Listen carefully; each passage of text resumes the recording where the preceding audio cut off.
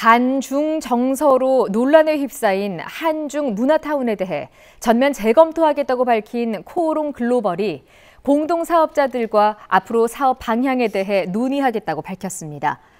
코오롱 글로벌은 조만간 주주사인 중국 인터넷 매체인 인민망 등과 한중 문화타운 사업 철회 여부를 결정한 뒤 특수 목적법인 철수 여부를 확정짓겠다고 밝혔습니다.